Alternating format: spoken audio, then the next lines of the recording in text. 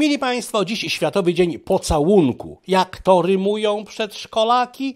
Hipopotam, słoń czy smok, każdy czasem cmoka Smok. Cierpliwie studiujemy prasę wielkopolską, mamy coś dla pań. Pismo Kobieta Wielkopolska, dwutygodnik, rok 1937, rubryka Radości i smutki pani domu. Cytuję. Jedna z pań, której mąż zawsze się spieszył, wymyśliła sposób oszczędzania mu czasu rano. Wśród przyborów do golenia umieściła mały słoik z przykręconym wieczkiem, do połowy napełniony spirytusem.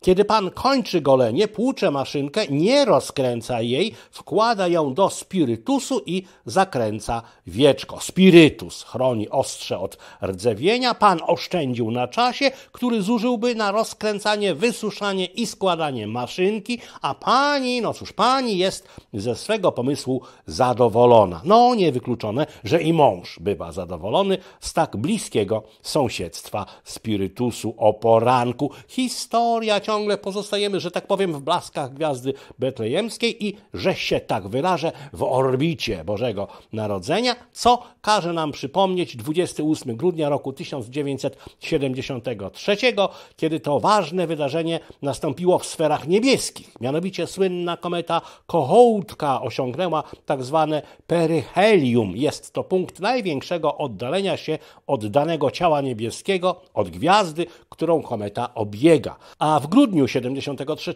kometa Była obserwowana bardzo uważnie przez cały astronomiczny świat. Śledzono jej ruchy z obserwatoriów naziemnych, z samolotów, z balonów, z rakiet, z bezzałogowych satelitów. Działo się tyle, co w dobrym westernie, bo w peryhelium zachodzą w kometach najbardziej interesujące i dramatyczne zmiany, które i tak trudno zauważyć, ponieważ przyćmiewa je światło słoneczne. I kometa Kohołtka była fotografowana częściej niż wszystkie gwiazdy Hollywood razem wzięte. Wszystko po to, byśmy poznali strukturę takiego kosmicznego gościa i kiedy on nawiedzi nas po raz kolejny, byśmy wtedy wiedzieli już dokładniej, z kim mamy do czynienia i jak tego kogoś przywitać. Bo nie wszyscy przybysze z kosmosu niosą nam tak entuzjastyczne wieści jak gwiazda betlejemska. Niestety, o czym przekonały się na przykład przed milionami lat dinozaury, bo prosperowały sobie świetnie na naszej planecie, a tu nadciągnęła